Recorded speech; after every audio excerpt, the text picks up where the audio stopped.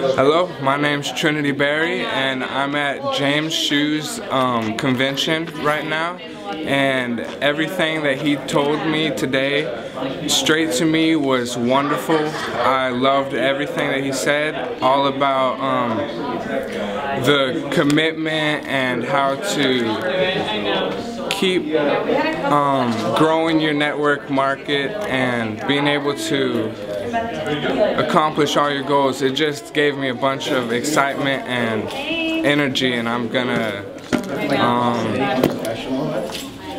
be big. All right.